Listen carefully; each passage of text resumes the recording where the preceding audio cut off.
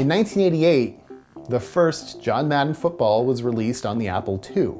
And it's easy to look at this and say, well, okay, it was a football game on the Apple II. What's the big deal? What made this game special was before this, football games didn't really look like football at all. They usually had much less than 11 players on each side of the field.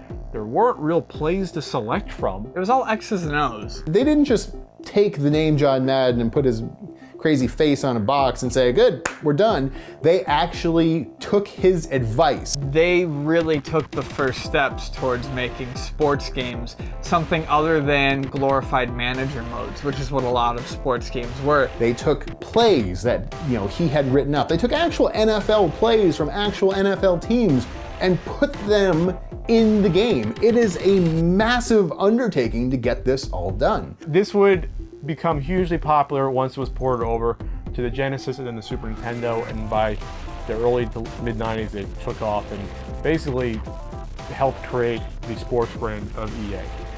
John Madden to this day sees this as a teaching tool for people to learn the ins and outs and the intricacies of football. To this day.